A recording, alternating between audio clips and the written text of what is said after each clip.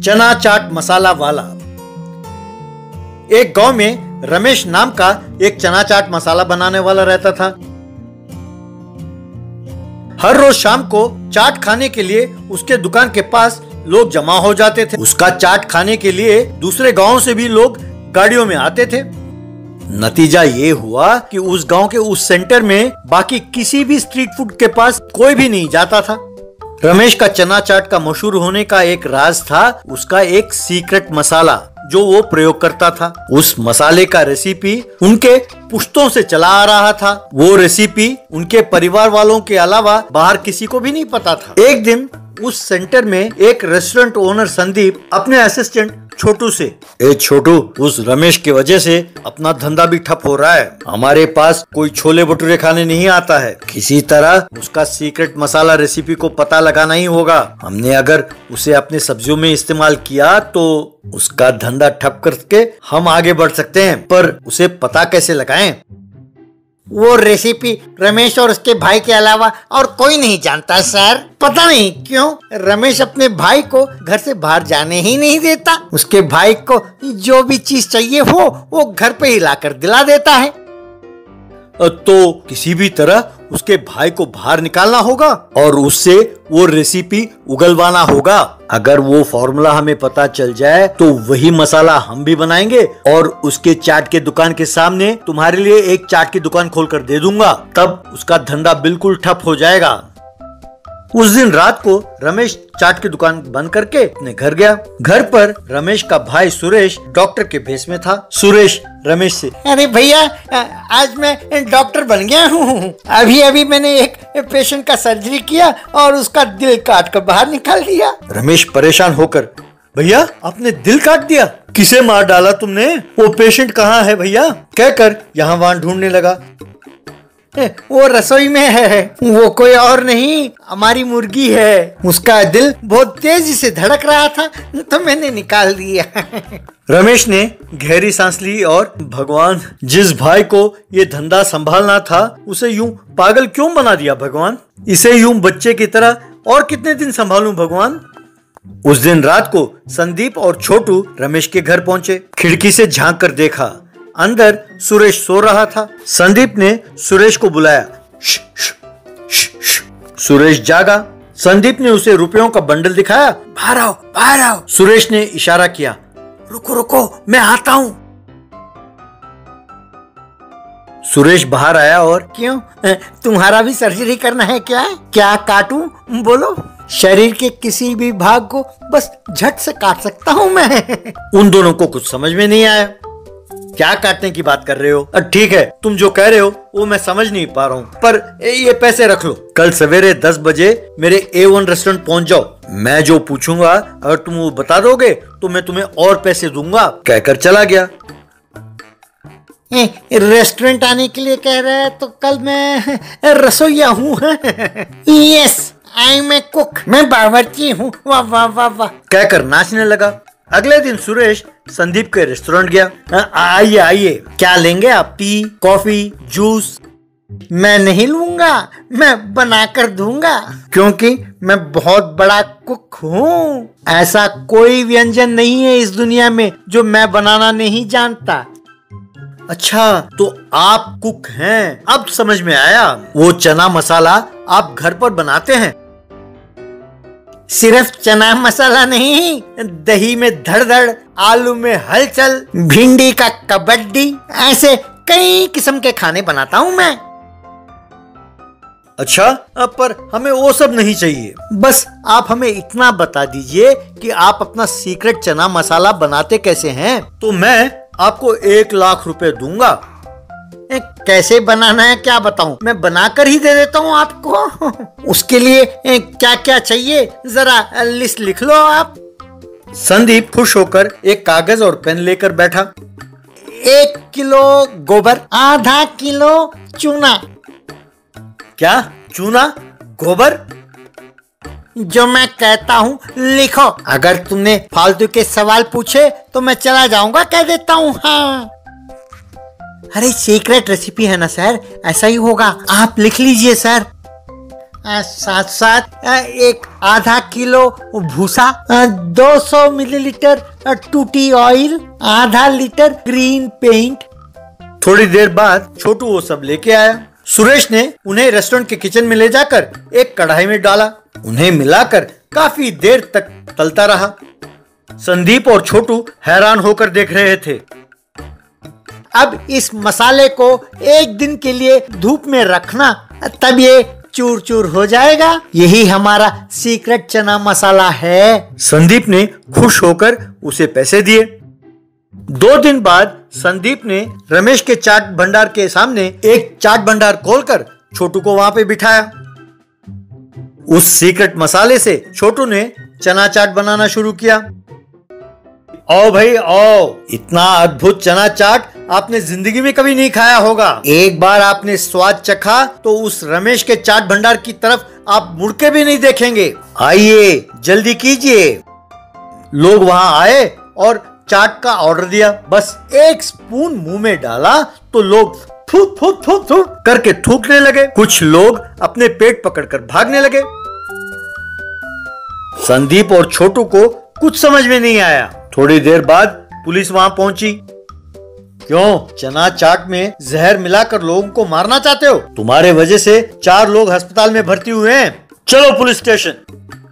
तभी सुरेश वहाँ पर पुलिस की भेष में आया। सुरेश एसआई से भाई तुम कौन हो? ये मेरा सर्कल है। ये मेरे कैदी हैं। मैं ही इन्हें फांसी दूँगा। इन्हें मुझे सौंप दो। एसआई परेशान होकर देखने लगा। तभी रमेश वहाँ पर आया और एसआई साहब, माफ़ कीजिए, ये मेरे बड़े भाई हैं। ये थोड़े पागल हैं। हर रोज ये अपना प्रोफेशन बदलते रहते हैं और उस भेस में आते रहते हैं। कहकर सुरेश को वहाँ से लेकर चला गया। संदीप और छोटू एक दूसरे को देखते हुए बेहोश होकर गिर गए। यूँ ऐसे उन्हें ले जाकर जेल में डाला। उन्हें चार साल की सजा मिली। और रमेश का चाट भंडार बस बढ़िया चलता रहा। Build underground cow house Jiddipur गाँव के लोग बहुत वहमी और बहुत जिद्दी भी थे। उस गाँव के लोग अपने घर के सामने खुद ही स्पीड ब्रेकर्स लगाते थे। इसलिए उस गाँव में कम से कम 20 स्पीड ब्रेकर्स थे। गोपाल नाम का व्यक्ति अपने परिवार के साथ उस गाँव में आया और दो गाय खरीदा। उनसे दूध का धंधा शुरू किया। गोपाल अपनी पत्नी राधा से, वाह, ये गाँव बढ़िया है। सुना है कि ये गाँव वाले सेहत का बहुत ख्याल रखते हैं। इसीलिए सिर्फ़ गाय का दूध ही पीते हैं। अब अपना धंधा दिन दुगनी, रात चौगनी तरक्की करेगी। राधा ये सुनकर बहुत खुश हुई। अगले दिन गोपाल गाय का दूध दोहने लगा। उस दूध के कैन को लेकर अपने साइकिल में लटकाकर ले जाने लगा। कदम कदम पर स्पीड ब्रेकर्स होने के कारण दूध कैन से छलक कर नीचे गिरने लगे। यूँ जब तक वो घर घर जाकर दूध बेचता, दो लीटर दूध छलक कर नीचे गिर गया। शाम को घर लौटकर गोपाल राधा से ओह इतने सारे स्पीड ब्रेकर्स मैंने ज़िंदगी में कभी नहीं देखा। आज का लाभ तो वो स्पीड ब्रेकर्स ने खा लिया है। मैं समझता था कि ये गाँव वाले चौकस हैं पर इनकी चौकसी का तो हद ही है। मुझे कुछ ठीक नहीं लग रहा है। हर गाँव में कुछ न कुछ परेशानी तो होती है। कल से आप धीरे जाइए स्पीड ब्रेकर्स आए तो साइकिल से उतरकर उसे पार करें। बस। अगले दिन गोपाल स्पीड ब्रेकर्स के आते ही साइकिल से उतरकर धीरे से पार करने लगा। वो दूध लेकर उस गाँव के सरपंच नकुल देव के घर गया। वो बाहर कुर्सी पर बैठकर घड़ी देख रहा था। क्यों भाई? दूध लाने में इतनी देरी क्यों लगा दी? मैंने पहले ही कहा था ना कि मैं पाँच बजे चाय पीता हूँ। तभी पेट साफ़ होता है और पाँच बजकर बीस मिनट पर मैं टॉयलेट जाता हूँ। एक भी मिनट आगे पीछे हुआ तो फिर शाम के पाँच बजकर तीस मिनट तक मैं टॉयलेट नहीं जा पाता। आज तुम तीन मिनट लेट हो गए हो। आज मेरा सारा मूड खराब होने वाला है। अब कल से तुम्हें दूध लाने की ज़रूरत नहीं है। सर, ये सब उन स्पीड ब्रेकर्स के कारण हुआ है, सर। आप तो गाँव में सबसे सयाने हैं। आप लोगों को समझा सकते हैं ना, सर? अब इतने जिद्दी हो तो काम तो नहीं चलेगा, सर। जिद्दी? कैसा जिद? यूँ स्पीड ब्रेकर्स बनाने के लिए मैंने ही कहा था। जानते हो, घर के आगे गाड़ियाँ तेज गईं तो कितना खतरा हो सकता है? बच्चे, पालतू जानवर, सब अचानक बाहर आते हैं। यदि गाड़ियाँ उनसे टकरा गईं तो खतरा हो सकता है। वैसे तुम हो कौन? नए नए गाँव में आकर मुझे ही सिखाते हो। मैं गाँव वालों से कहता हूँ कि वो तुमसे दूध ना खरीदें। तुम जैसे लापरवाह को इस गाँव में नहीं रहना चाहिए। दफ़ा हो जाओ यहाँ से। कहकर चिल्लाया। गोपाल के समझ में नहीं आया कि वो क्या करे और दुखी होकर चला गया। उस रात को गोपाल सोचने लगा कि क्या करें। तभी तेज बारिश शुरू हो गई। वो गाय बारिश में भीगकर और ठंड से अम्बा कहकर रामने लगे। ये जी, बेचारे गाय धूप और बारिश में बहुत परेशान हैं। उनके लिए एक अच्छा सा तबेला बना दीजिए ना। क्या बकवास कर रही हो? मैं तो ये सोच रहा हूँ कि इन गायों को बेच दूँ और ये गाँव छोड़कर हम सब चले जाएँ। उनके लिए तुम तबेला बनाने के लिए कहती हो। वैसे तबेला बनाए कहाँ? मेरे सर पर बनाऊँ? कहकर चिल्ला रहा था कि तभी उसे एक तरकीब सूझी। वो, वाह, क्या आइडिया दिया है। अब देखो, एक पंथ दो काज। अगले दिन गोपाल अपने घर के बाहर सड़क पर खोदने लगा। दो दिनों में उस रोड के नीचे अंडरग्राउंड कव हाउस बना दिया। उस तबेले के छत को सड़क पर उठाया। उस अंडरग्राउंड कव हाउस में गायों को रखा। गोपाल और राधा ने उन्हें घास डाला। वे आराम से खा रहे थे। देखा तो उस सड़क के एक ओर बहुत सारी गाड़ियाँ रुकी हुई थी। ये क्या है? क्या तुम नहीं जानते कि ये मेन रोड है? हम सबको ऑफ़िस जाना है शहर में। यूँ रास्ते के आड़े तुम क्या बना रहे हो? सर, आप मुझे गलत ना समझें, सर। ये घर नहीं है। स्पीड ब्रेकर है, सर। हम अपने गायों को बांधते नहीं है, सर। बेचारे, वे बात बात पर सड़क पर आ जाती हैं। इसीलिए सुरक्षा के लिए ऐसा किया है, सर। सरपंच जी ने ही कहा था कि कोई भी अपने घर के बाहर स्पीड ब्रेकर बना सकता है। रूल तो सबके लिए बराबर होनी चाहिए ना सर तो जाइए, पीछे एक 20 किलोमीटर घूमकर शहर जाइए सर सब परेशान होकर पीछे मुड़ गए। तभी एक एंबुलेंस वहाँ पहुँची। नकुल देव उसमें से उतरा। वो पेट पकड़कर, अरे गोपाल मैं तेरे हाथ जोड़ता हूँ। तुम तुरंत इस छत को हटा दो।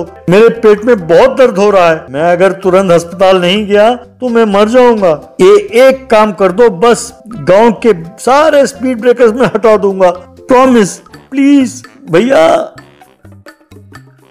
सर, आप समझ गए ना कि सेफ्टी जितनी ज़रूरी है इमरजेंसी भी उतनी ही ज़रूरी है। हद में सब ठीक होता है, सर। ज़िंदगी में हर चीज़ का संतुलन होना बहुत ज़रूरी है। कहते हुए उस तबेले का छत को निकाला और उसके जगह एक बड़ा सा फट्टा लगाया। एंबुलेंस उस फट्टे पर चढ़कर चला गया। अगले दिन नकुल देव ने अनावश्यक स्पीड ब्रेकर्स को हटा दिया। गोपाल साइकिल पर आराम से दूध बेचने लगा। वे गाय अंडरग्राउंड काउ हाउस में मज़े से रहने लगे।